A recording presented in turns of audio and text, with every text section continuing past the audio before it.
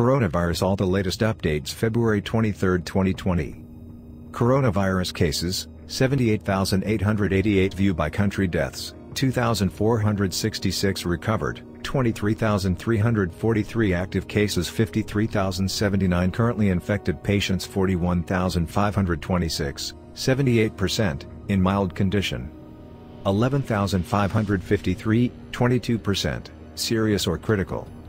Closed cases 25,809 cases which had an outcome, 23,343, 90%, recovered, discharged. 2,466, 10%, deaths. All the latest updates February 23, 2020.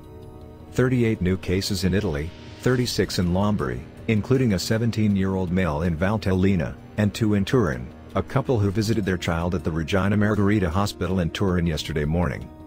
One new death and 16 new cases in South Korea. President Moon Jae-in raised the alert level to maximum, level 4, serious, thus empowering the government to lock down cities and restrict travel. The coming few days will be a critical time for us he said in an emergency meeting. Two new cases in Taiwan, father and son, in their late 80s and 50s.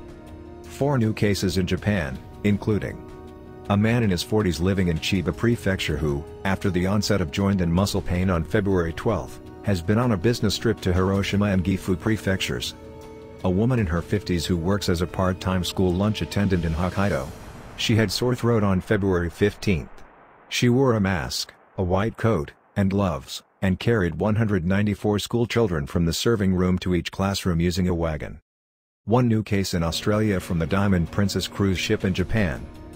18 new cases and one new death occurred outside of Hubei province in China on February 22, as reported by the National Health Commission NHC, of China. 630 new cases and 96 new deaths were reported by Hubei province in China for February 22. Two new deaths and 120 new cases in South Korea,